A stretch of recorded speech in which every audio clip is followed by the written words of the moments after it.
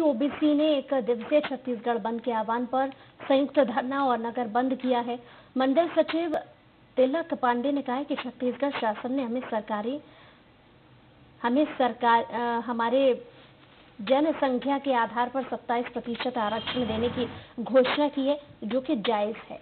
लेकिन लोगों ने कोर्ट में आपत्ति दायर की है इसे लेकर एक दिवसीय बंद से अपनी आवाज़ बंद की है ये हमारा अधिकार है और हम इसे लेकर रहेंगे। इस मौके पर नगर में व्यापारियों ने अपने अपने व्यवसाय बंद रखे हैं और संयुक्त मोर्चे का समर्थन किया है।